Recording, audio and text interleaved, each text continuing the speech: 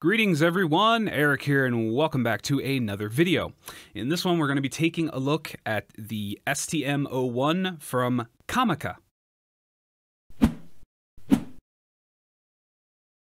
Okay, so the STM01 is a large diaphragm condenser microphone. It plugs in through XLR, so you do need some type of uh, audio interface to use this uh, microphone. Uh, they were kind enough to send me this microphone to try out. The audio you're hearing right now is from this microphone. Um, I have the box right here so you can see what the packaging looks like. Um, it also has the specs on the back, which I can sit here and read out to you. Hopefully, I've got my volumes set correct. Uh, so yes, it is a uh, condenser microphone. It uses the cardioid uh, pattern, and it's only got the one pattern. Cardioid means it's going to listen to everything up coming in front of it, and then it's going to try and reject anything from behind it. Uh, so that's really nice. The frequency response is actually really good. It's 20 hertz uh, all the way up to 20 kilohertz. So that's really good. Uh, let's see. I'm just looking at whatever's like actually important. There's a lot of information on this thing that you could easily look for. Uh, it does obviously use phantom power, so you need an audio interface that can deliver phantom power. So, like I said, you're already hearing this thing right now. Um, but what I also did was I decided to try this thing out on uh, my guitar. Um, I don't have an acoustic guitar, so I couldn't really give it a ch- good try with that.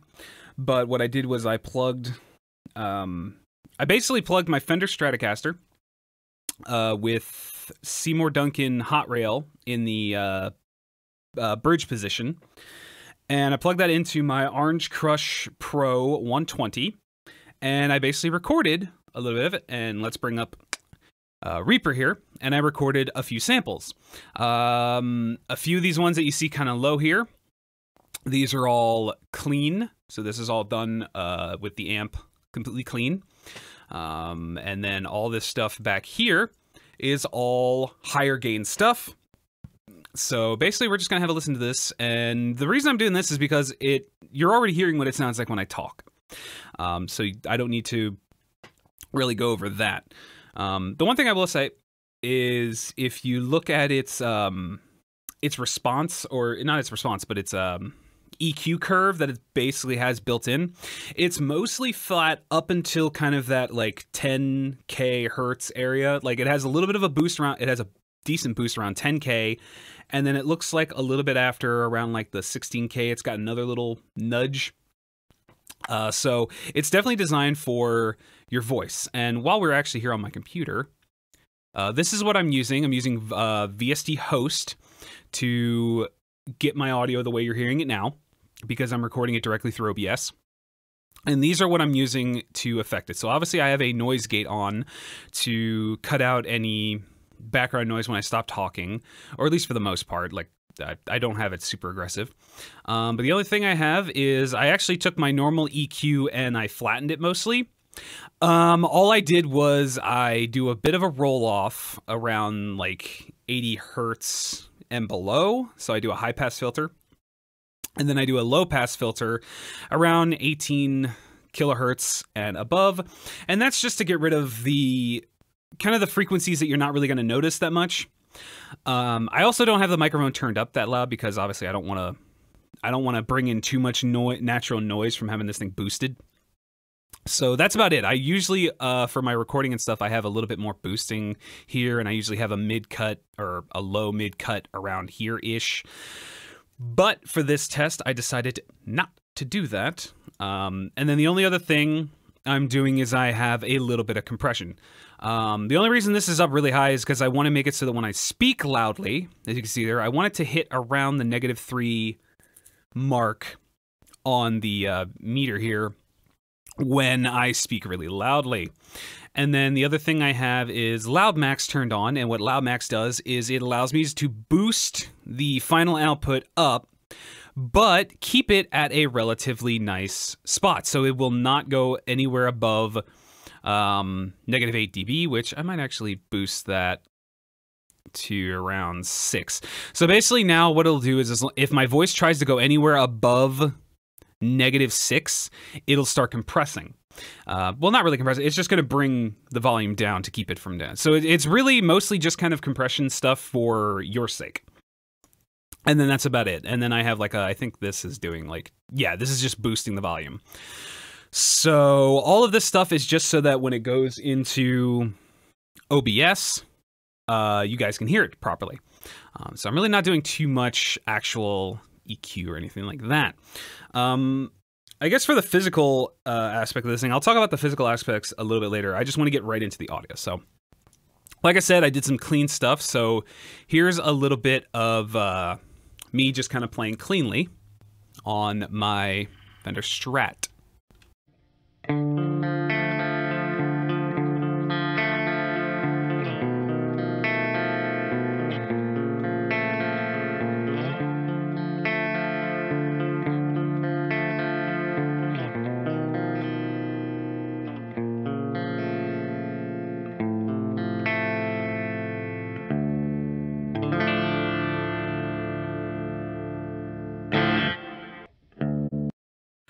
Uh, so yeah, you can hear that. I, I did like three different things. Uh, there's another thing I did. I think this one was mostly just like some uh, slightly lower notes.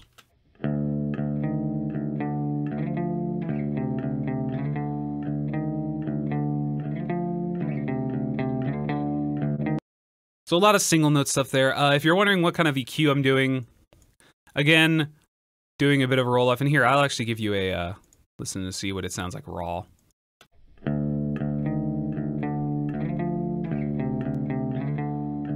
You can kind of see the curve.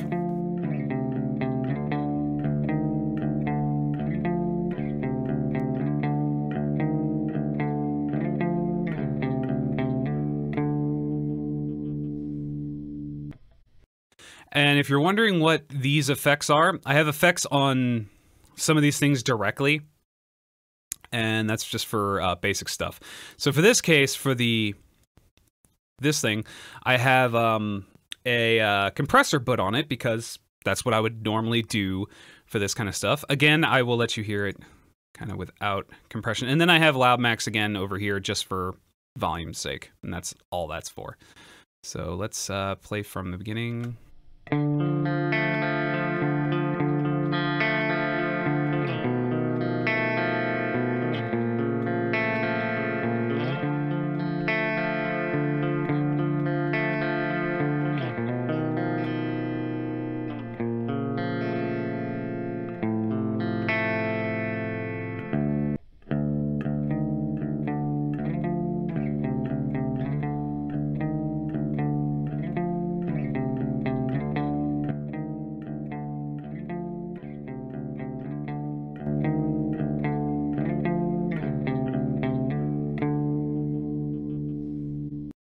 I just realized I had the wrong one active there for a second. That was my bad.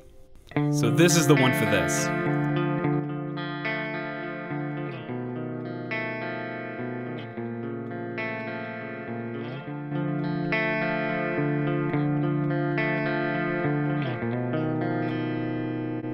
So you can see there overall it's bringing the volume up a little bit more, but it's also evening out the um, the kind of the, the dynamics a little bit just to make sure every note is heard really well. But even without the uh, compression, it sounds um, pretty good. I think this is a, another one that I did.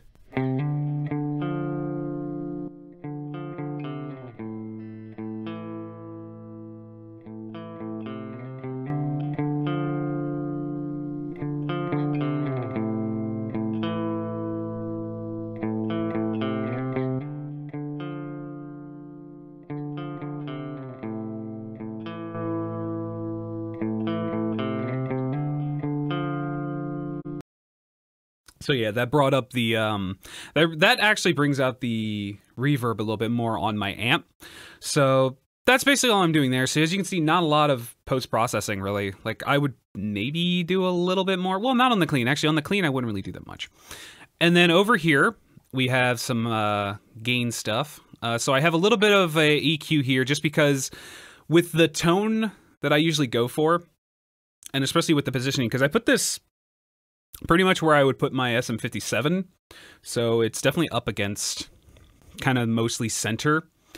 Um, but yeah, I, I decided to cut a little bit here and here just because with uh, the way I record, it could be a little bit harsh at times. Um, I would do this on every single microphone I ever do, um, but at least this way you can see what it's doing. Now, I know that my tone's not for everyone, but you can still kind of get an idea of what this thing is doing. And I'll also show you why. That's also why I did this to get rid of some of the really harsh highs, especially since it's boot. This mic boosts the high end a bit more.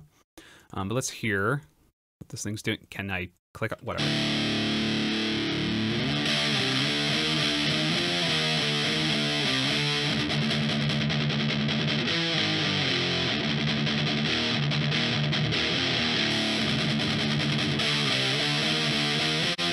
Hear how how much like hissier it is. Um and that's really just because like where i placed the microphone was in a spot that i wanted to get a little bit more of the like bigger picture but unfortunately that means i was going to get a lot of high end that i didn't like um which is fine. Like that's just what i have to you know i can work with that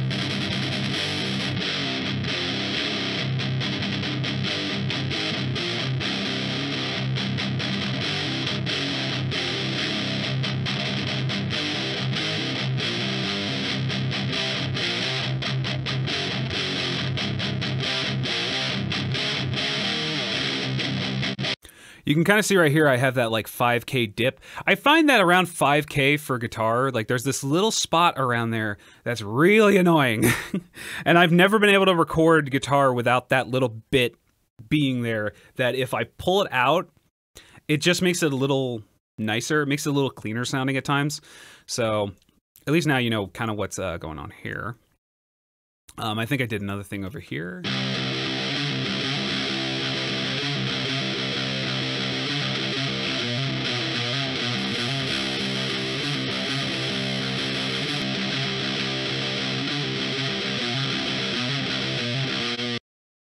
So very crunchy. Uh, I was using the um, the Demon pedal. That's kind of my favorite pedal. Again, I know this sounds not for everyone.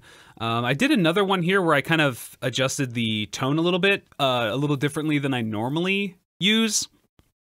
So uh, let's listen to this one. I actually don't have any extra processing, so it's literally just this.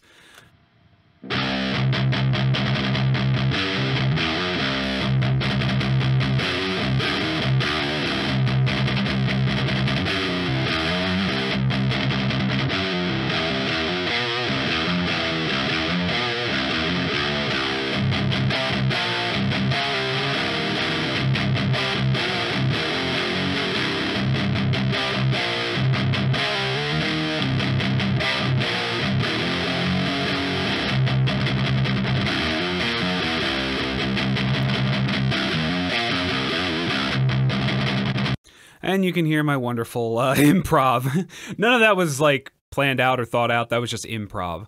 Um, so you can see on this one, it's a little bit chunkier, not as much uh, in the high end. I pulled the treble down.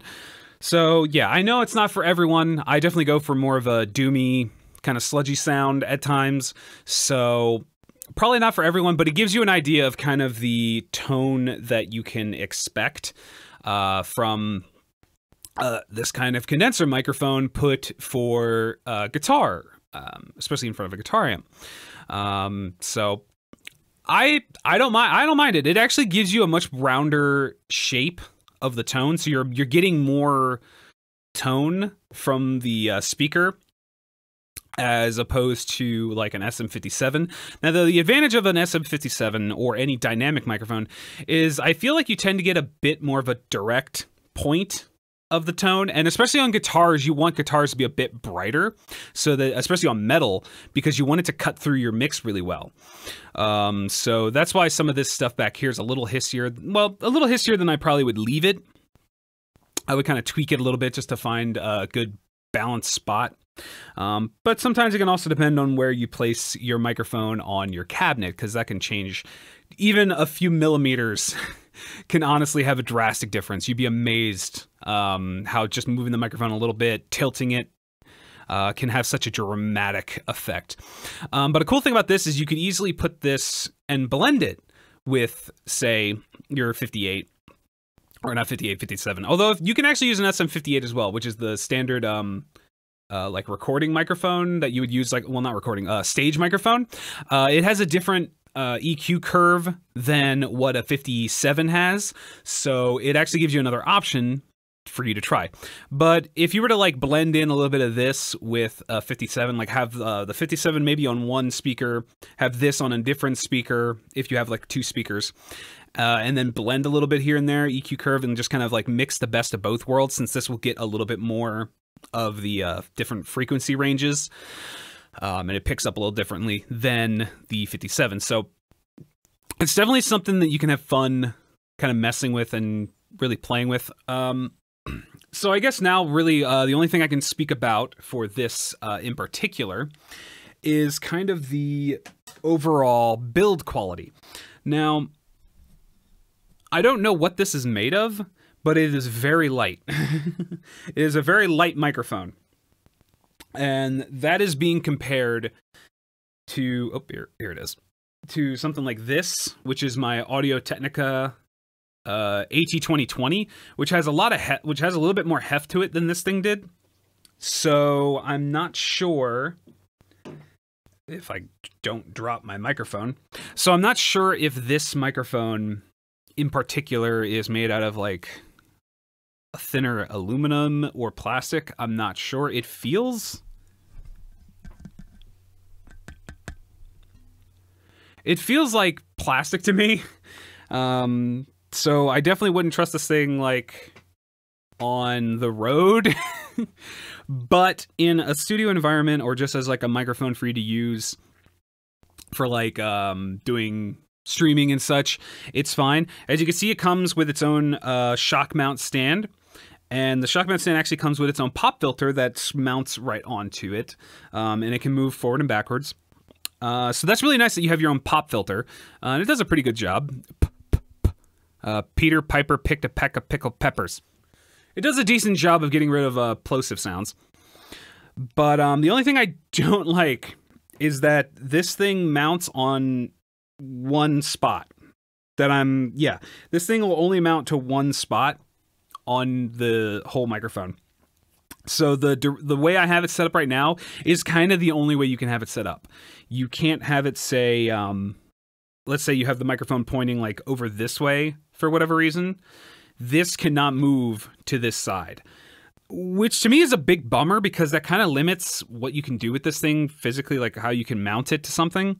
So in the future, I would love for them to make it so that this thing clips onto the mount it's like clips onto the stand itself like here around the ring but can clip onto the ring directly without needing a specific mounting spot um, to me that would be a much better design um, then you can like actually move it around. Um, so yeah that's pretty much all you get in the box. Like the other the only the other thing you get in the box basically is um, the packaging or not packaging the uh, user manual. You get like a i'm guessing that's a warranty card and then some kind of like sticker thingy?